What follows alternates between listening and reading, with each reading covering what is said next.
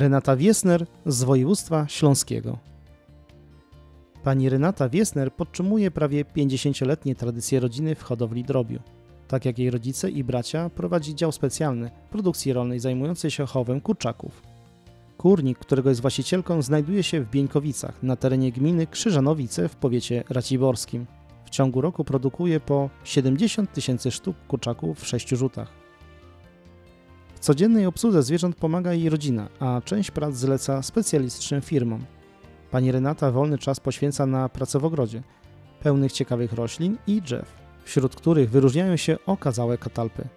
Zainteresowanie produkcją drobiu wykazuje również córka rolniczki, pani Natalia.